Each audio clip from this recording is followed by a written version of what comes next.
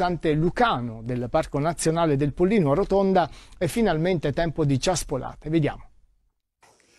La neve tanto attesa ha finalmente imbiancato le vette del versante lucano del Parco Nazionale del Pollino e per tutti, grandi e piccoli, è tempo di divertirsi.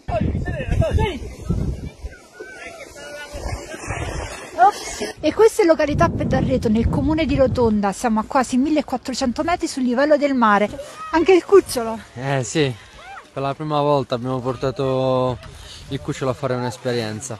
Lui non mi sembra tanto convinto. No, si deve semplicemente ambientare. Sì, adesso lo slego sicuramente inizierà a fare il pazzo. Da dove è arrivato? Dalla Puglia, da Altamura. Ma non è un po' grandicello per lo slittino? E eh vabbè, ma noi siamo pugliesi, la neve non siamo abituata, abituati a vederla. È divertente, abbiamo i bambini, ci divertiamo con loro, una giornata diversa ed è tutto bello, il passaggio è fantastico e, e niente, è molto divertente. Allora, arrivata la prima neve, eh, che cosa è possibile fare qui da voi?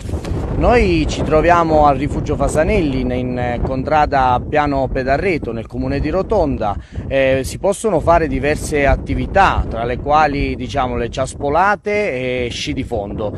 Noi preferiamo diciamo, anche dare qualche consiglio agli ospiti che giungono qui in struttura partendo dalle ciaspolate perché in, sul Pollino diciamo, è il regno delle ciaspolate ma anche sci di fondo con un'associazione locale di, di, Rotonda che organizza sci di fondo sul, sul territorio. Da dove arrivate? Io vi sento lamentarvi. eh, veniamo da Taranto, da bellissima Taranto. prima volta sulle ciaspole? La, sulle ciaspole sì, è la prima volta, speriamo che, che ci divertiamo un po' come andrà a finire. Io ho sentito che vi stavate lamentando, freddo, neve, però. Eh sì. No, no, bellissimo. Vabbè, dobbiamo abituarci, perché noi siamo abituati a stare al mare, al sole.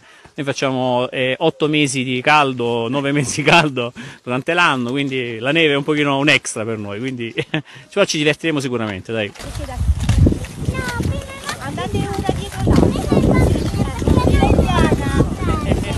è il regno delle ciaspole, ma le ciaspole sono davvero adatte a tutti? Sicuramente è un mezzo facilissimo, adattabile a tutti gli escursionisti, diciamo, in versione invernale, quindi con un semplice attrezzo, appunto, questo delle ciaspole, insomma, si gode di questi paesaggi invernali che ci sta regalando anche in questo momento, insomma, questa, questa stagione.